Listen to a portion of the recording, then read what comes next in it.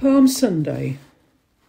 Jesus entered Jerusalem on a donkey to the acclaim of the crowd, just as the prophet Zechariah had said, except that he mentioned the word king. What kind of king would ride on a donkey? The people didn't seem to notice. They continued carpeting the road and shouting, Save now, Hosanna! Could they not understand what Jesus was demonstrating? The Messiah's kingdom was and is a place of peace and love.